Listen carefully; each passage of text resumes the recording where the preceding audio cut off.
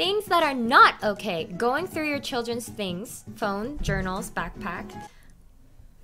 Jeannie's been going through my uh, hard drives. well, it's because you were like, here, you can have my hard drive. Don't freaking look through it Then though. what am I supposed to do? Just use it. Talking badly about your kid to other people, insulting True. your kid both to their face and behind their back. True. This is my house, you have no privacy. Yeah. Hitting your kid, compare them to other kids. Yep.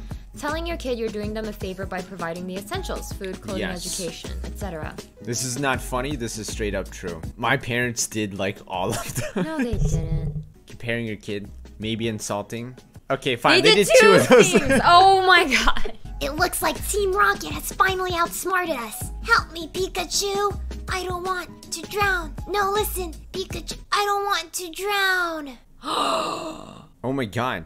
So, empty house and a flash of light, and it's over. Oh my god.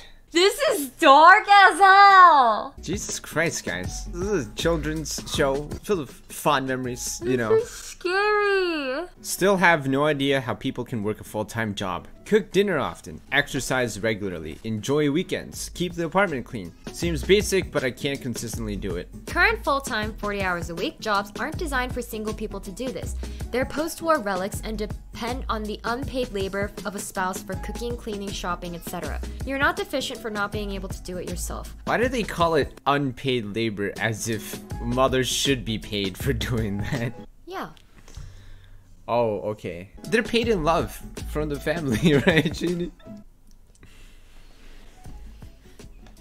Yes, darling, yes. Just don't cook then. Order food. You can run. It takes 10 minutes to go outside. Get a Roomba or get a maid. Or get a girlfriend. I'm just kidding. get a Swiffer and do that shit yourself, boys.